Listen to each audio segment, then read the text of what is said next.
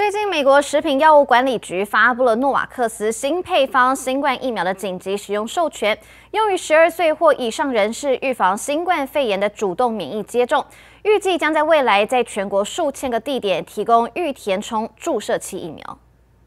Novavax 是一间利用新型 Matrix-M 佐剂促进基于蛋白疫苗研究的全球公司。在获得 FDA 紧急使用授权后，十二岁或以上的人士可以使用该公司新冠佐剂疫苗2024至2025的配方来进行主动免疫接种。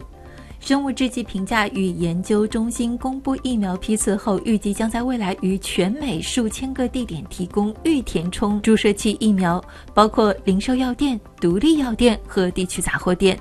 Novavax 主席及行政总裁 John C. Jacobs 说：“我们一直在努力确保消费者能够在全国数千个地点获得疫苗。”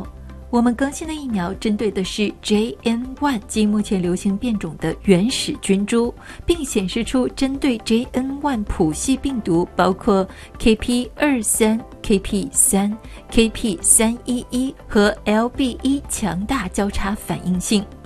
据悉，该紧急使用授权是基于非临床数据。数据显示，Novavax 的更新疫苗可以针对 JN.1 和多种 JN.1 谱系病毒，包括 KP.23、KP.3、KP.311 和 LB.1，提供保护和交叉反应性。